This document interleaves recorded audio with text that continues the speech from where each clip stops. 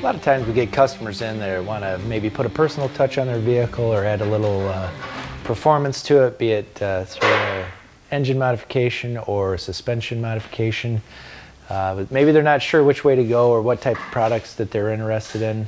Uh, that's something that we specialize in, uh, specifically like lift kits, for example, for pickup trucks or SUVs. Uh, a lot of times we have people come in, they want to put their own personal touch on that vehicle, but they're just not sure what direction to go or what's going to be the best value.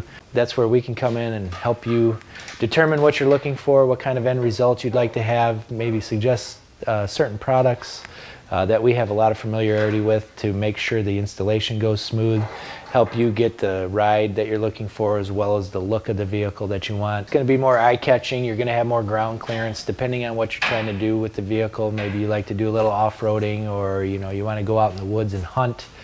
You want to get into those remote areas and a little more ground clearance would help you out with that.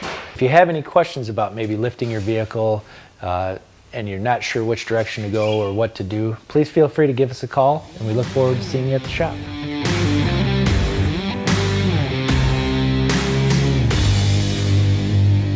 Please check out our other videos on our YouTube channel. Don't forget to subscribe to it, hit the like button, and ring that bell. We really look forward to reading your comments.